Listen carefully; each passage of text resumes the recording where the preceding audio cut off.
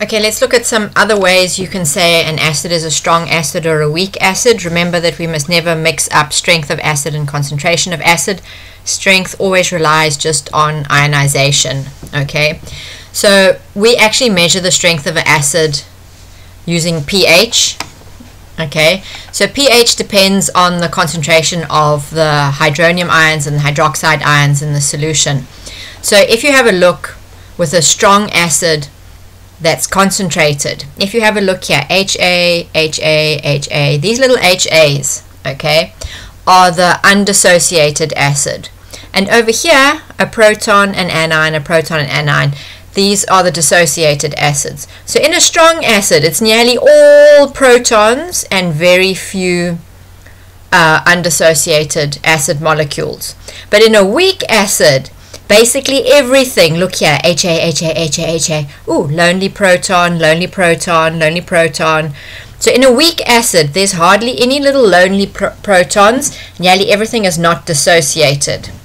And even if we chuck more water in here, we're still going to have, in a strong acid, very few um, things that have not dissociated, but in a weak acid, nearly everything's not dissociated.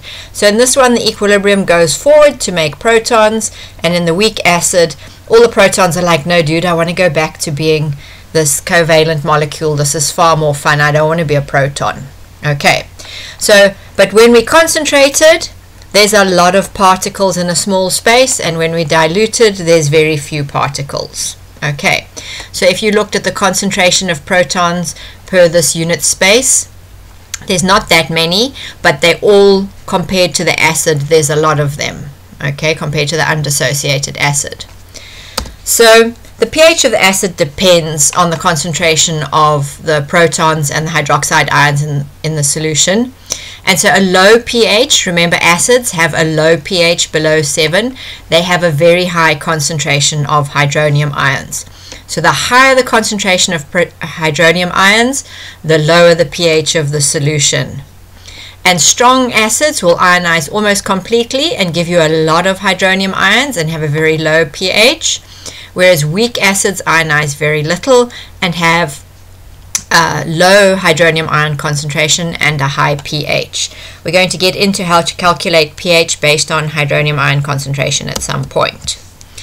The next way to tell if um, an acid is a strong acid or a weak acid is by um, conductivity. So if you run an electrolysis experiment with where you've got a, a, battery and electrodes and they're in an electrolyte solution, you can consider an acid dissolved in water, an aqueous solution of an acid, to be an electrolyte because it is, because there's ions. Some of them are uh, uh hydrogen cations and whatever else is your anion, okay?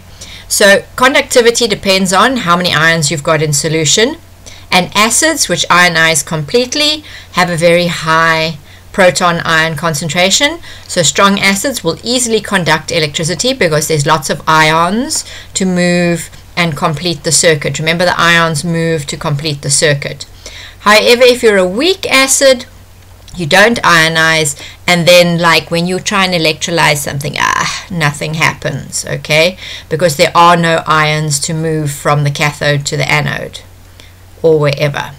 So weak acids are weak electrical conductors. So conductivity is also a measure a measure of acid strength by how many ions you have in solution.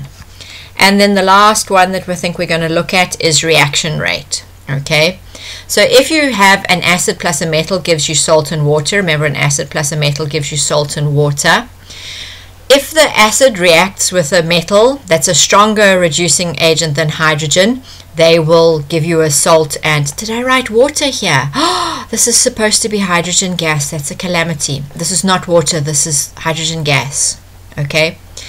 So the rate at which the acid reacts with a metal to produce hydrogen gas is a measure of the strength of the acid.